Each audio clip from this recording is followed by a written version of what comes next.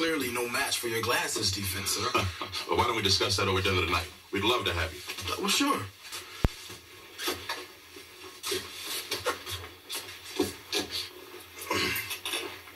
Yeah, man. Um, I guess if Uncle Phil can be a big man about this, so can I. Of course, it's a lot easier for him. Well, I guess we both got off on the wrong foot. No hard feelings? No hard feelings, man.